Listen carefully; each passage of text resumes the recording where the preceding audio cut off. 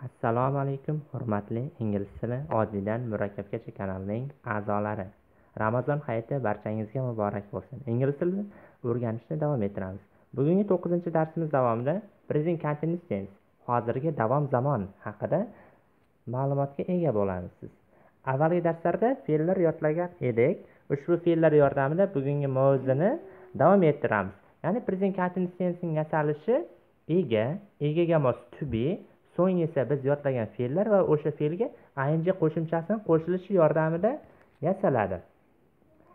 O'zbek tilida bu holatdagi gaplar asosan yap tili gaplarga misol bo'ladi. Masalan men bajaryapman men o'qiyapman u yozyapti u ishini bajaryapti kabi misollar keltirishimiz mumkin. Ya'ni o'zbek tilidagi qaysi misolda yap qo'shimchasi ishtirok etgan bo'lsa bu ingliz tilidagi present continuous tensega to'g'ri keladi. Misol uchun men bajaryapman degan gapni o'zbek tilidan ingliz tiliga tarjima qiladigan bo'lsak birinchi egani tarjima qilib olamiz ya'ni i olmashdan boshlaymiz men.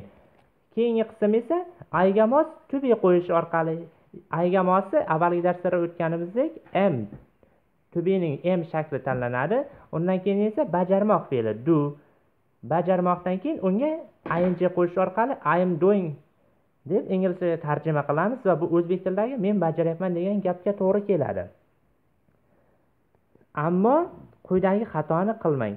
I am do bo'lsa o'zbek tiliga tarjima qilsak men bajarman bo'lib qoladi i doing bu to tushib qoladigan bo'lsa men bajaryap bo'lib holatiga kelib qolishi mumkin.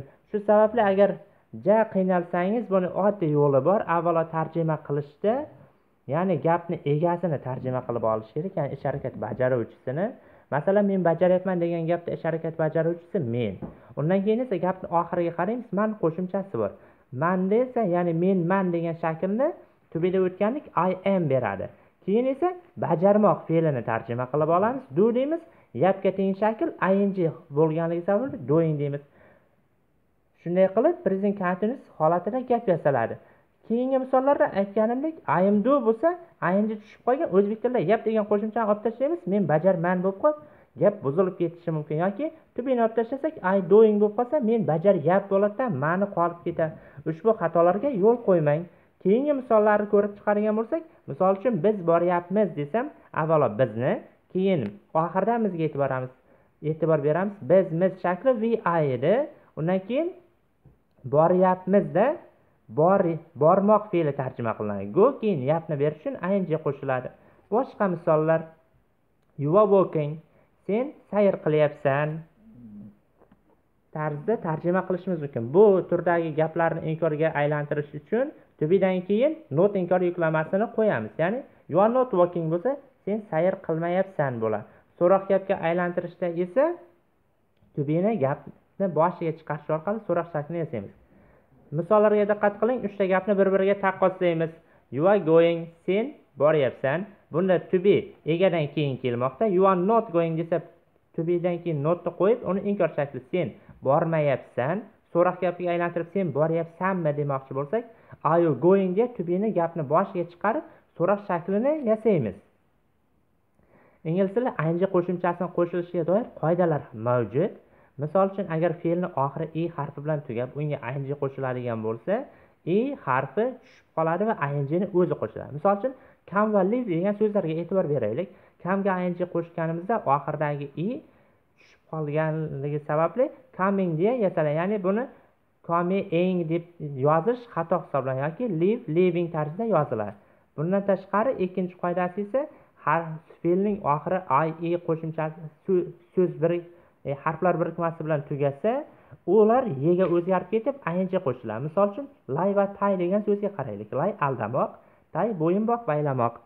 Bunda qoidaga binoan lay tarkibidagi i eni yega o'zgartirib ing qo'shamiz? Lying tayni tayinga o'zgartiramiz. Ya'ni bog'layapti aldayapti degan so'zlar hosil bo'ladi keyingi holatda esa agar unli ikki undoshni orasida kelsa ikkilantiriladi. Misol uchun swim va sit so'zlarini olaylik. E'tibor bergan bo'lsangiz qizilda belgilangan unli ikki undoshni orasida kelgan shu sababli oxiridagi undosh ikkilantirilmoqda swimming tarzda yoki setting tarzda. Bundan tashqari agar harf so'zni oxiri l bilan tugagan taqdirda ham l ikkilantiriladi masalan travel traveling tarzda buni bitta l shaklida yozish xato hisoblanadi. Qolgan fe'llarda esa doim ingni o'zi hech qanday o'zgarishlarsiz qo'shiladi masalan do doing help helping look looking. Endi present continuous tense ishlatilish qoidalari bilan tanishib chiqamiz. Biz bilishimiz kerak bo'lgan birinchi qoida quyidagidan iborat. Ya'ni o'zbek tilidagi yap tili gaplar doim ingliz tili present continuous tensega tushadi. Yuqorida qanday yasalishini o'rgandik. Ya'ni o'zbek tilidagi yapti degan yap degan qo'shimchani olgan gaplar doim present continuous tensega tushishi kerak. Misollarga qaraymiz. I am singing a song. Men qo'shiq kuylayapman. Jasur is drawing a picture. Jasur rasm chizayapti jasur and ali are going to the school. Jasur va ali maktabga boryapti. Kishilik olmoshlaridan tashqari tubini ishlatilishiga e'tibor bersangiz jasur birlik ot bu higa to'g'ri kelmoqda. Shu sababli ham is tanlanmoqda. Jasur and ali esa ko'plikda bo'lganligi sabab tubini ko'prik shakli ar tanlanmoqda ko'pchilik mana shu ismlar kelganda yoki boshqa so'zlar kelganda kishilik olmoshlaridan tashqari tubini tanlashda qiynaladi. Ushbu holatda o'sha boshqa kelgan so'zlarni olmoshlari bilan almashtirish orqali tubini mos shaklini tanlash mumkin.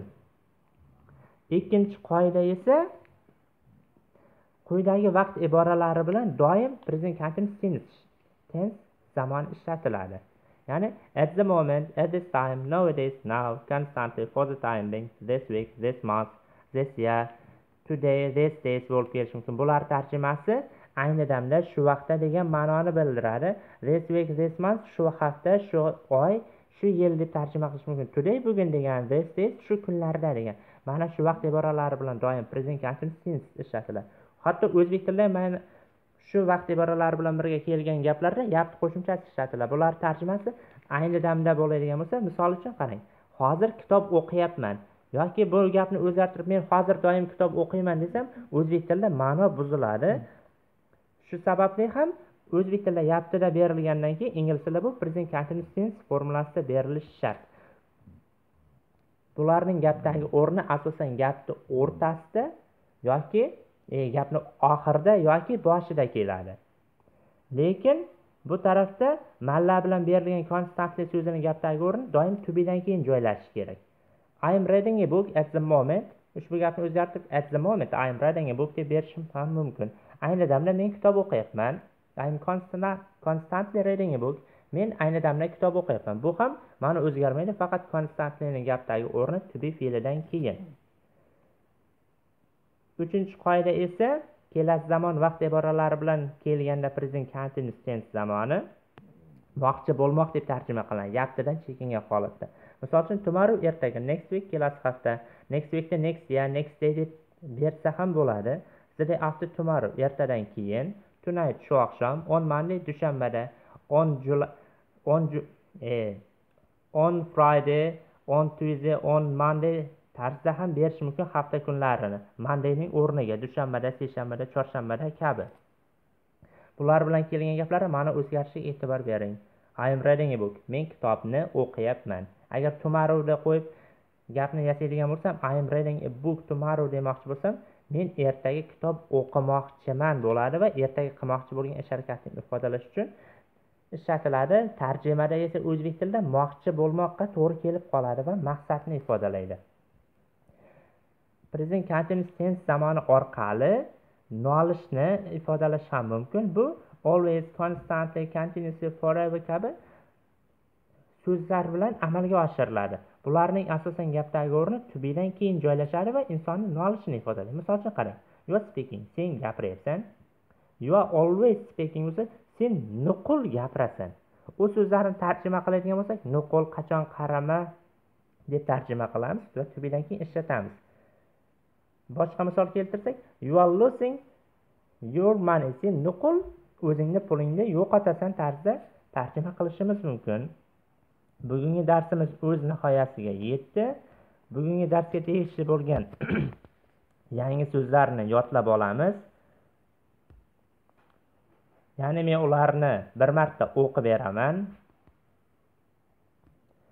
On ustida da in the yard hovli tepot choynak kap piyola house uy heter sketch meyl ovqat kofe qahva eat yemoq tea choy child bola sugar shakar drink ichmoq with bilan shelf tokcha bring keltirmoq who kim on the bed karavotda. Quyidagi berilgan matnni ingliz tilidan o'zbek tiliga tarjima qiling. Bularni ham o'qib beraman where is the book the book is on the teacher's table where's the child and the art this is the shelf Said is drinking tea with the cup. Usman is eating milk. Where's the hater? Bring the teapot. Who's reading in the house? Who is eating milk? What is this on the shelf? This is a cup. Who's in the glass?